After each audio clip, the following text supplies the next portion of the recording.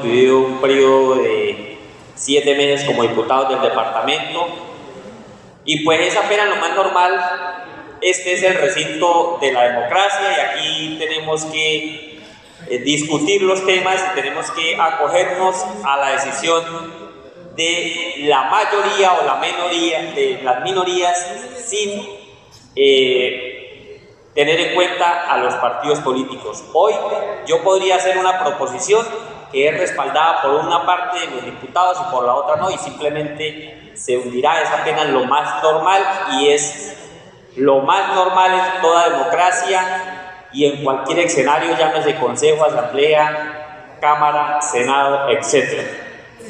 Yo tuve la oportunidad de ser dos veces concejal del hermoso municipio de Tame. La primera vez fui electo concejal por un movimiento que se llamaba AICO. ¿Y cómo les parece? que ni una de mis proposiciones, ni una, pasaba, porque estaba en minorías. En ese entonces se dio la oportunidad de cambiar de partido y tuve que pasarme al Partido Liberal para que prosperaran mis proposiciones y para tener la oportunidad de estar en mayoría. Y aún estando en mayoría, Fui derrotado en muchas de mis proposiciones y es apenas lo más normal. Yo llamo de la manera más respetuosa a mis honorables diputados a que tengamos un poquito, a que le bajemos un poco al tono, aunque querramos decir las verdades necesarias.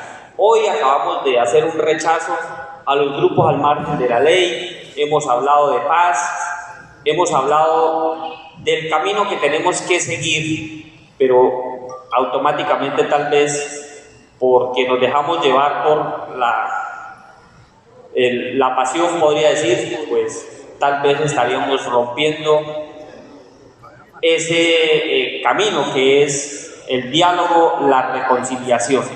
De aquí nos levantaremos, nos daremos un abrazo y no dejaremos de ser amigos porque los pensamientos son distintos. Y reconozco eh, el gesto del diputado Fernando en retirar su proposición para darle paso a la proposición inicial que ha hecho el diputado Hernán Camacho frente a la citación a control político a la UAESA. Y invito, honorables diputados, yo sé que este periodo de extraordinarias es muy corto, pero sí quisiera que invitásemos a Kumare, que no se ha invitado, a la misma Contraloría Departamental a que rinda su informe ante la Asamblea Departamental porque fue electa por la Asamblea. Y es a la Asamblea quien tiene que rendirle el informe. Y ojalá sea un informe donde nos permita conocer el estado de los contratos que ha hecho intervención esta entidad como ente de control. Eso sería de mi parte, Presidenta. Muchas gracias.